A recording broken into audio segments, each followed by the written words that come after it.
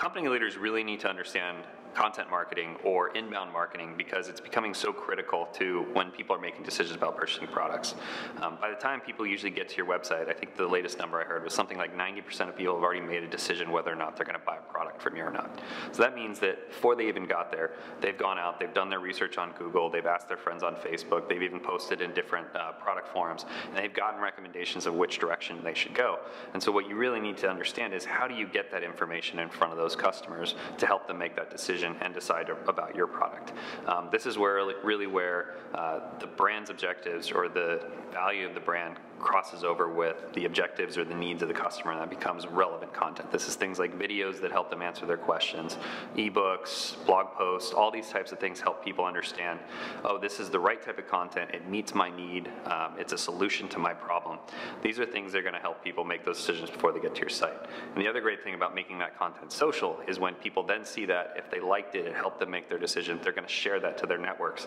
And Google and Bing are actually using that sharing as part of their, their search rank algorithm, and they're actually going to boost your content up even higher when someone else then goes to Google to search for a product or a service, for example.